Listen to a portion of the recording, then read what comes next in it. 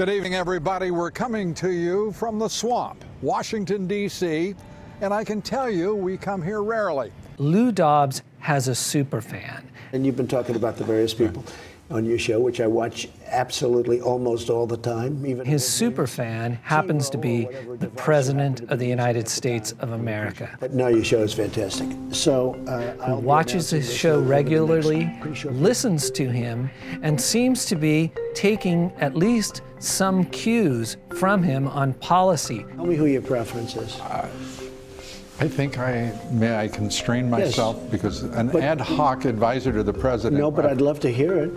You can uh, even cut it out if you want. You don't have to. I would love to hear you. I only want Where does the Donald. Trump Lou Dobbs relationship begin? This is Lou Dobbs. We have to go back to when Lou Dobbs was talking about birtherism. President Obama promised transparency and openness in his administration, uh, yet he's chosen not to release his original birth certificate or a copy of it. And Donald a number Trump of Americans was are asking listening. why not. When Donald Trump got interested in that topic, he was using some of the material that he was picking up from Lou Dobbs. I was a really good student at the best school. I'm not like a smart guy, okay? They make these birthers into the worst idiots. Why doesn't he show his birth certificate? I, I now think we can fast forward to the 2016 presidential campaign. Lou Dobbs is at Fox Business Network. Trump appears to be waking the country up on the issue. Who is up on the screen in Trump Force One? Lou Dobbs. Trump is listening to him during the campaign.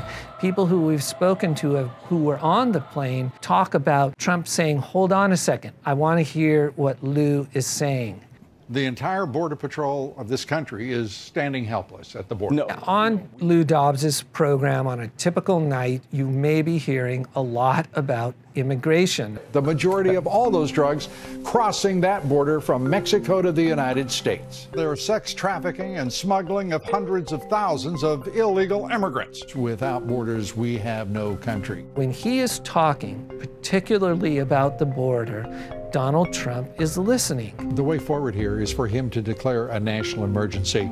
uh, Lou Dobbs very much wanted uh, to have a national emergency declared to pay for building a wall. The president needs to find a way forward here where he can deliver on this promise. And He talked about it on his show a lot. Donald Trump eventually declared a national emergency. Secretary Kirstjen Nielsen is flailing. Another key example is the situation involving the Homeland Security Secretary, Kirstjen Nielsen. He was disappointed with how she was handling her job. She wasn't tough enough for him. Kirstjen Nielsen, in my opinion, she is utterly unqualified for the job. He began calling for her to be fired. Within weeks of him doing that, she resigned from office. Kevin, good to have you with us, and It's great to be back, Lou. congratulations. Uh, Something else that we've an seen Donald Trump report. and Lou Dobbs are talking off air. They're having phone calls with each other. We were just in there briefing him on these numbers earlier in the week, and he picked up the phone and called you. And- and so Some this- this is, of you know, the associates of both of these men have told us that there are periods when they talk every single day. And we've also learned that at times Donald Trump will phone Lou Dobbs in the middle of a meeting and place Lou Dobbs on the speakerphone.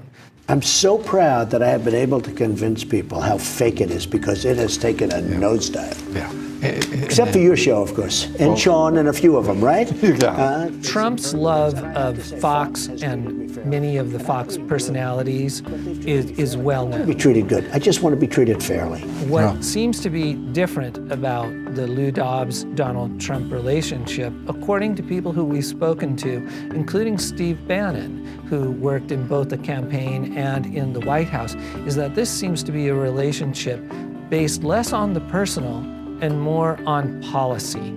President Trump has done more than any president in modern history. We're seeing a completely new paradigm, a new kind of relationship between a person on television and a person who is president but also happened to be a reality television star. And uh, appreciate everything you're doing. Thanks so much. We're getting it done. I will promise you we're getting it done, and it's happened. A lot has already happened.